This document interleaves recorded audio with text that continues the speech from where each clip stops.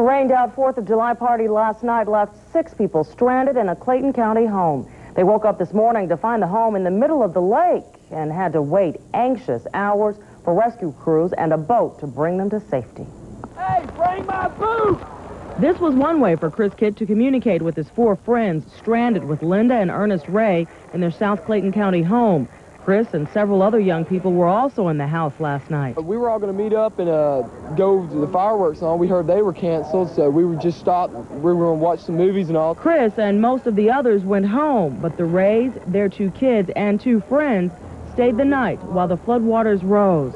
This morning, the phones were still working, so 18-year-old John Edwards was able to call his father for help. Your son, does he sound nervous on the phone? No, they sound like they're just having a good time, just just like uh, like a party to them.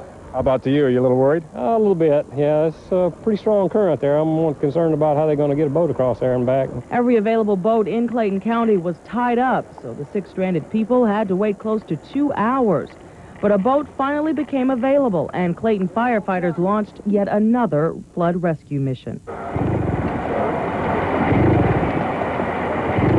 A stubborn motor slowed things down a bit, but the boat was finally in the water, attached to a safety cable, insurance against the strong current. But within a few minutes, Lila Ray and Jeff Mitchell were on their way to dry land.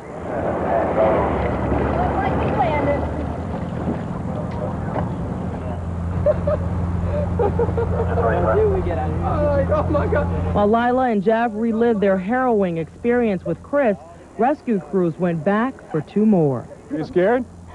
Um, yeah, this morning when we woke up and the whole yard was almost flooded and it was like a lake, yeah. John Edwards was in the next boat along with Eddie Ray. As any parent can relate to, the adventurous teenager was relaxed, his worried father relieved. We left the hose on. We left the hose on last Good night. to see you, dude. yeah, yeah, we left the hose on. I think your dad was a little worried. I got a little concerned, yeah. Uh, I wasn't worried about. It's okay. It's okay. But it wasn't as easy as it looked.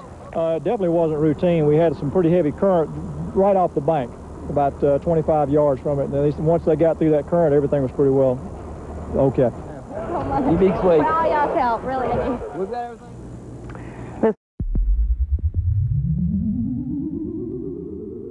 I will survive without you.